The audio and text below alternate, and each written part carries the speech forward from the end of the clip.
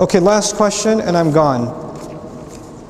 Jazakallahu khairan for each and every word that you delivered. My question is, how can we strive balance among non-mahram colleagues and family? You live in a non-Muslim country where shaking hands is showing respect. So how can we say no without hurting them? Was it about you or me? I, I don't know. but um, look, I mean, at least in the United States, we're a pretty free society, right? So you could do pretty much anything. You could shake feet in America. You can do the silliest things. So when, when you know a woman sticks out her hand, some people are comfortable with shaking her hand and they'll quote a fatwa or something and whatever. I'm personally not comfortable uh, uh, shaking hands with women. I'm not giving you a fatwa. I'm just saying I'm personally not comfortable.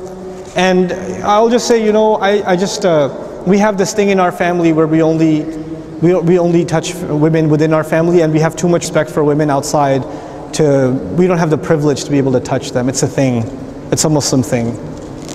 You know? So I, instead of turning it into something like, ew, you kafir, I can't touch you, I turn it into, uh, listen, just out of respect for women, unless they're in our family, we don't get the, we don't have the right to touch them. It's a, I hope you can respect that. And they do. We just gotta find a smart way of saying things.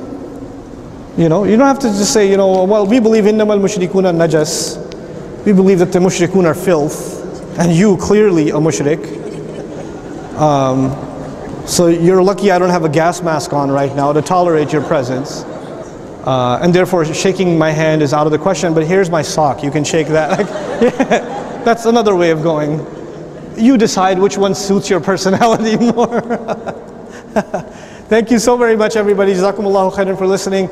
I have to rush out of here because I have to catch a flight tonight. And if I don't, I am going to be zabiha at home. So, thank, uh, khairan. Please make lots of dua for me. I'll be making lots and lots of dua for you on my trip back. Be responsible people. Assalamu alaikum wa rahmatullah.